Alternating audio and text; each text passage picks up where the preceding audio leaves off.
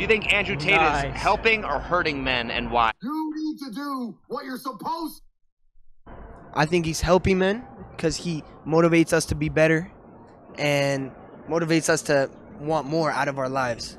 he's helping men, you feel me, be more in touch with their masculinity, but he's also, you know, like he does have some misogynistic traits and There are some good points. Damn, bro. He was doing so well, and then the feminist, the feminist voice came out at the end, bro. The feminist voice. Came. But he's also, you know, like he does have some misogynistic traits and This dude listens to AMP and Able and Preach. You just tell, bro. breathe air. I'm gonna be honest. are some good points that I think that he boosts confidence in young men, but he can damage some that misinterpreted what he says. All right, see that that's true. That's true. That that's facts. I'm not even gonna argue with that. That's true. Guys, if they only watch the uh, guys that sit here and look at Andrew Tate's TikToks and they only watch the clips, they don't think critically and look further into the conversation. They don't open up that horizon. They don't open up the full book and like look over it, look at all the full podcasts and like actually listen and listen to the women and see how how he reenacts with them and then sees how he can apply it to his life. Yeah, those guys are fucked, bro. Let's be honest. Though he has uh, some opinions that are against women, I feel like the majority of what he says is They're not against women, they're against feminists. uh, good for men, and I feel like men should listen to what he's saying. Obviously he's been arrested in Romania on some, you know, serious charges, right? He's free now, Uh, though. but you could take individual things that he says and, you know, 80, 85% of the people that you might ask might agree agree with those things. They might not agree Also a base take. Nice. Nice. You can take the ideas that he puts out, or you can take the lessons that he's learned throughout his life and you can apply it to your life. That's actual critical thinking, bro. So a lot, a lot of these guys are actually woke. They're actually all awake. They all with, understand it. you know, whatever he might have done to get charged with criminal charges, but that doesn't mean that, you know, you should throw out necessarily the whole message. Which is more important, their message or their lifestyle? The message. Oh, the message for It's sure. always the message. the more important thing socially is is the message, uh, but the thing that might sell it is the lifestyle. I don't know. There you go. There you. That dude is base as yo. A lot of these guys are base, bro. I never really hear a guy sit here and misinterpret what Andrew Tate says and really takes it in a misogynistic tone, bro. Except for Fat G. I mean, I don't want to say Fat G's a misogynist, but Fat G going around yelling at women, good for views, but not good for men in general, I believe, like you know, Pearly and not, and not good for women to feel safe, right? If you're if you're a man that's promoting masculinity, providing and protecting, going outside and yelling at women, that's that's not providing and protecting. That's scaring the shit out of women. Heard of them? Uh, Pearly things. Her, like her channel, like she doesn't practice anything she preaches. Can you be more specific? Like she always says that men don't want a career-oriented woman or a person that talks strong and you know a masculine, career-oriented and all that. Like I don't know. She just like I don't know. She tells other women how to be when she's being the opposite of what she's telling them to be. Do you watch their content more for the educational value or for the All right, I get what he's saying. He's he's bringing up these Aba and Preach talking points that I've I've heard Aba and Preach talk. Right, I've heard a lot. Even Justin per, just Pearly things being canceled right now. We could go over that too. Um, it's true. I mean, just Pearly things really goes up. She'll say a lot of things about women. Does she give actual advice to women? Yeah, she does. And then she, but here's the thing: is that just Pearly things isn't on birth control. Just Pearly things isn't sleeping around. Just Pearly Things is interviewing and essentially trying to help women in this space understand men's perspective. Just Pearly Things understands her perspective. Yeah, she's definitely a, CEO. She's definitely like putting her career first right now, besides finding a man. But, but I mean, she's building right now. I mean, it, she's only been around for like two, three years in the space. It doesn't mean that she won't. Once she finds that guy, she won't actually like put all those things back for the right guy. You know, so she's be is she being a hypocrite at this point in time? Yeah, to a certain extent. We're all we're all hypocrites though. Every single person is a hypocrite, and that's fine. Uh, and like and it's like it's like you said, you can't take everything they say as a T.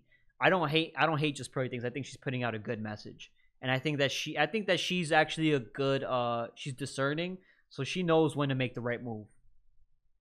You need to sacrifice some things to be the messenger. Yeah, exactly, bro. Opposite of what she's telling them to be. Do you watch their content more for the educational value or for the entertainment value? Yeah, for the education. I like the educational value of it, and then sometimes it, it's very entertaining. Just like yeah, edu- I'm, yeah, I was gonna say I'm, I'm gonna be honest, bro. I watch it because it's it's hella entertaining, but then you know there's educational. I probably prioritize entertaining more than I should educational, to be honest. Uh, it's- I'm just I'm just keeping it hundred, bro. A lot of like a lot of the things women say are entertaining. It's fun. It's Man, I love your channel. You be lighting their asses up. How much of what is being said is new information? Why sixty percent? Yeah, sixty percent. None of it. There's nothing new under the sun, as they say. So, um, but but there's a lot of it that is new to a lot of people, a lot of young men, for instance. Nice. Younger people, it's new information. Older people, it's been here, but the way Nice, nice, nice. Yeah, to, and why is it new information to younger people? Because younger people are getting indoctrinated at such an early age, talking about equality equals equal, and that that was me. I'm that I'm that millennial that came from oh yeah equals equal. Oh yeah, always be nice, kind of act feminine around a girl, right? Like that's kind of what they instill in you like be docile be calm be this nice dude you know kind of like subduing you bro if you ever act out or like rage up it's like toxic it's terrible being presented is new.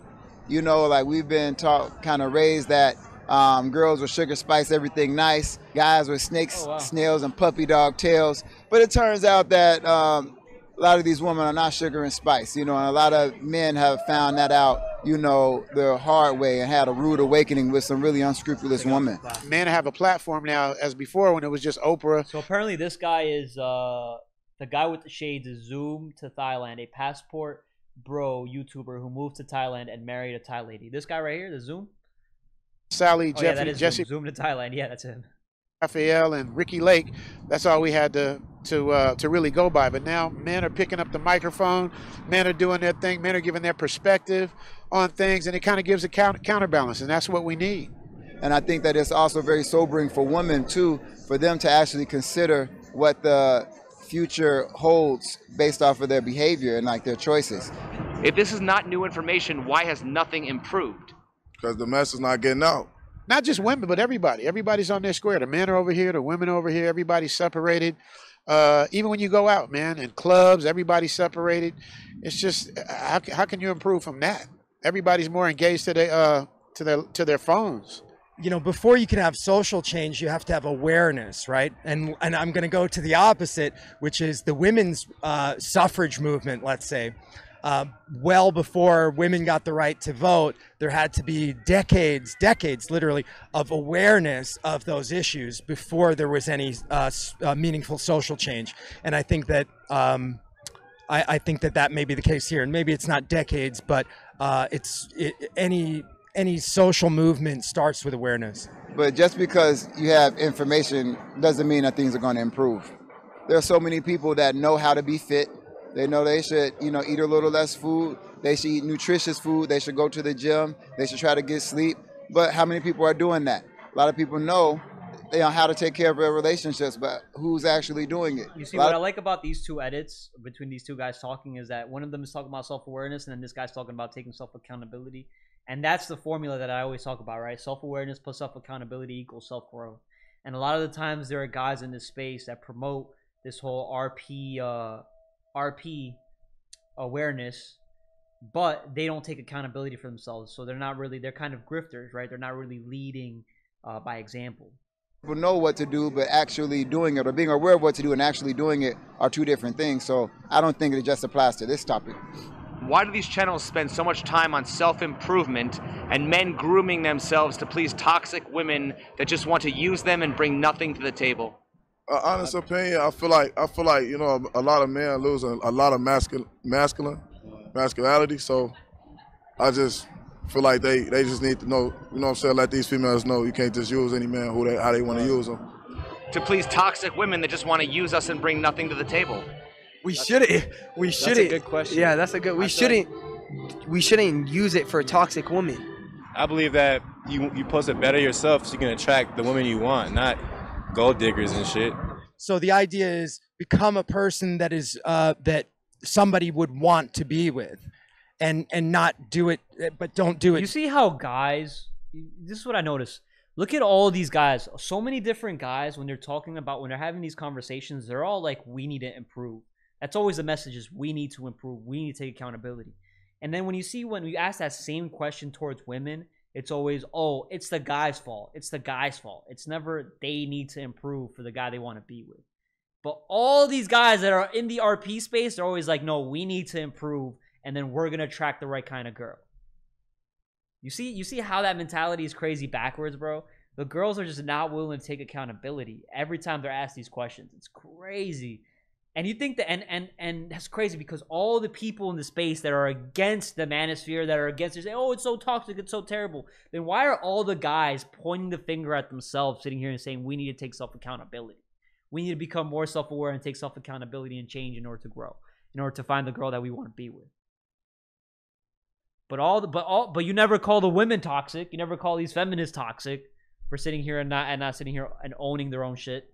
just to it's kind of like it's kind of like uh, pickup artists you know the idea of kind of gaming the system playing a game versus becoming a person who's attractive to the to the type of people you want to attract ah, no, no, no, no. This is where I disagree, bro. Let me see what he said right there. the idea of kind of gaming the system playing a game versus becoming a person who's attractive to to the type of people you want to attract So, all right.